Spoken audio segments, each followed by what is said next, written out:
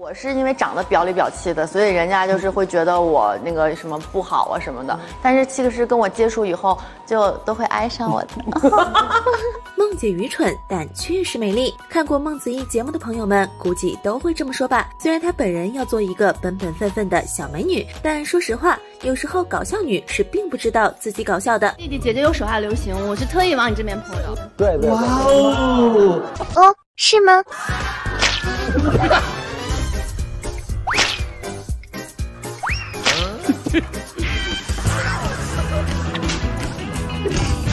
他发现脸上被挡住了，他就泼人家裤子。瞅瞅王鹤棣一脸诧异的表情，原来游戏还能这么玩吗？但这还不算什么，从巴黎排到法国这样的话，我只能说，梦姐你咋想的？巴黎排到了法国，追我的人从巴黎排到了法国。你们俩，巴黎不就是法国吗？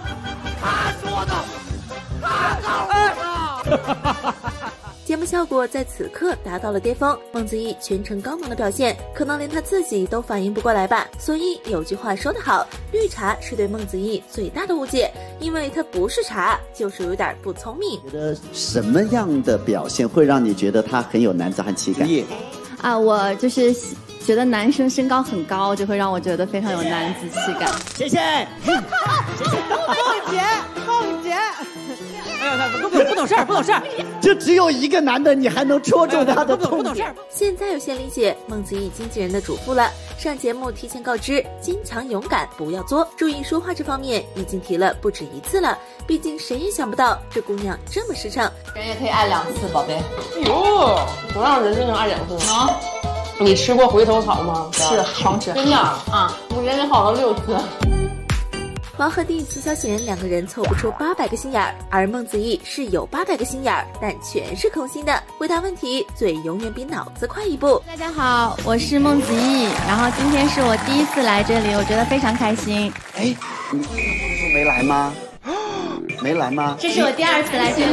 干嘛买手机？跟别人对话也是，你永远无法理解孟子义的脑回路。王传君问他有没有吃过黄皮，他说他听过黄皮子粉。黄皮还没熟，你吃过黄皮吗？没有，但我听过黄皮子粉。哇，瞬间降温了这里。上节目当个 NPC，探案人员在他身上了解案情，而我们梦姐却陷入了自己的盛世美颜，这猝不及防的卡顿真的笑死人了。你的辛苦钱你是怎么得到的？呃，因为我们因为直播，啊，对，因为我还。小美，小美看着我们，不要老看后面的天空。碰上王鹤棣就更逗了，两个小学鸡在吵架，玩游戏一定要争个输赢，气得弟弟直接用喇叭录音。应该是我先碰到他的。你都没走独木桥，朋友。你也没走独木桥。我全程走的独木桥。全程坐在独木桥。你没有走独木桥。你全程，你全程坐在独木桥。孟子义没有走独木桥。你全程走，你全程坐在独木桥。孟子义没有走独木桥。明明两个人唱歌都一般，跟着钢琴师练习时也要对一对。最主要的是孟子义没唱好，还怨人家钢琴师没弹好。孟姐，你不要太荒谬。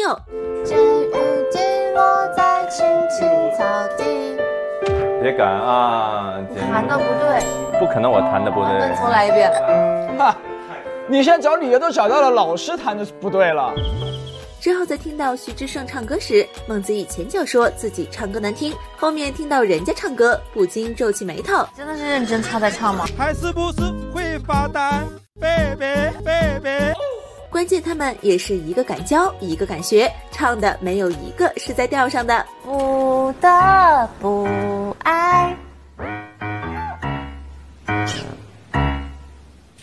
不得不爱。哎，对对对对。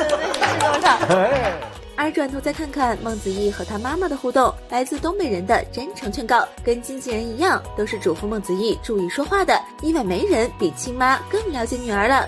你说话吧，别直说，经过点大脑，别虎了吧唧的啥都说。那那我跟人家接触，不就是应该让人知道真实的我是什么样子吗？我说的，我指的是说话方面，别瞎说话，别瞎说话，我尽量，别尽量，必须的啊！你那脑子干啥的？不就是用的吗？甚至在节目上，孟子怡妈妈还当众拆女儿的台，听到女儿说身体不好的时候，当众反驳：“我可没听说过她身体某方面不好，是吧？从来都是妈妈香。”听到女儿说跟自己相处像朋友时，更是直言直语，都是蛮像的，那是因为你不尊重我吧？没有，别害我了，妈妈。看到这儿，我想孟子义的性格也是找到根源了，铁定是遗传了妈妈。这母女间的互动也太搞笑了，观众都觉得我不太聪明的样子，看了这个节目你们就知道这是为什么了。